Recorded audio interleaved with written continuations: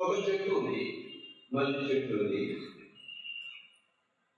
దాని ఊడలని మల్లి ఊడలు అంటారు. దాని ఆకులన్నీ ఏమంటాం? మల్లి ఆకులు అంటాం.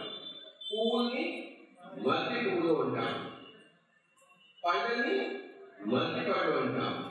విత్తనాన్ని మల్లి విత్తనం ఆ మల్లి విత్తనం ఏమవుతుంది? మళ్ళీ ఇంకో చూసి అది మళ్ళీ మల్లి చెట్టు. అల్లా భగవంతుడు వాటెవర్ ఇట్ ఈస్ అదొక మూల చెట్టును మొట్టమొదటి మల్లి చెట్టు. ఆ చెట్టు నుంచి ఏమొస్తుంది?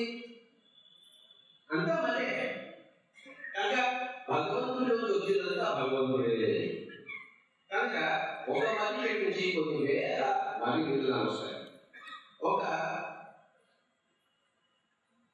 వేప చెట్టు నుంచి కొన్ని వేల వేప విత్తనాలు వస్తాయి. ప్రజలలో వేరుపజల యొక్క గుణాలన్నీ ఉంటాయి.